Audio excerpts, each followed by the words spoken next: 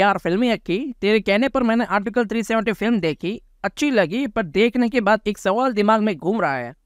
क्या बोलना बिंदास, घाबरू नकोज मुझे ये फ़िल्म थोड़ी बाइज लगी मतलब ऐसा लग रहा था कि बीजेपी गवर्नमेंट और पीएम नरेंद्र मोदी जी की अचीवमेंट्स को बड़ी अच्छी तरह से हाईलाइट कर रहे थे और प्रेजेंट कर रहे थे ऑडियंस के सामने।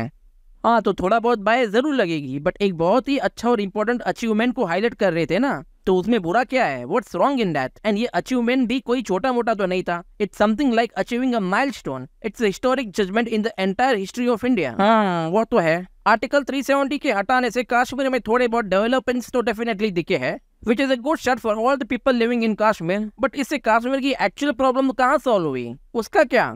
हम्म तुझे अगर याद हो तो फ़िल्म में एक डायलॉग था कि आर्टिकल 370 को हटाने से कश्मीर की एक्चुअल प्रॉब्लम तो सॉल्व नहीं होगी बट एटलीस्ट वो प्रॉब्लम इंडिया की तो रहेगी। हम्म काफ़ी बड़ी बात बोल दी इस एक डायलॉग ने। पहले एक ही मुल्क में दो सरकार, दो कानून एंड ऑल थे।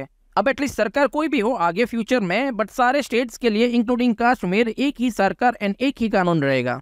यस yes, अब समझा तू सोचने की बात ये नहीं होनी चाहिए कि फ़िल्म कितनी बायस थी बट सोचने की बात ये होनी चाहिए कि बायस होने के बाद भी is it justified enough is it deserving enough मतलब उतना हक एंड अधिकार है अपने अचीवमेंट्स को दिखाने के लिए? अगर हाँ देन फुल्ली जस्टिफाइड अगर वाकई में ही बहुत बड़ा एंड इम्पोर्टेंट अचीवमेंट है तो हंड्रेड परसेंट हक बनता है उसे प्रमोट करने का। Hmm, ये फ़िल्म बायस है कि नहीं वो उतना सोचना नहीं बनता जितना कि लोगों को इस एंगल में सोचना बनता है। चलो मेरे दोस्त की तो थोड़ी बहुत सोच बदली। आपको क्या लगता है दोस्तों? आप किस एंगल में सोचना पसंद करेंगे? Do share your thoughts in the comment section below और हाँ लाइक शेयर और सब्सक्राइब के लिए भी पार्लियामेंट में एक बिल पास होना चाहिए। वो नीचू के तीन बटन ऐसे ही शोपीस के लिए नहीं दिए हैं।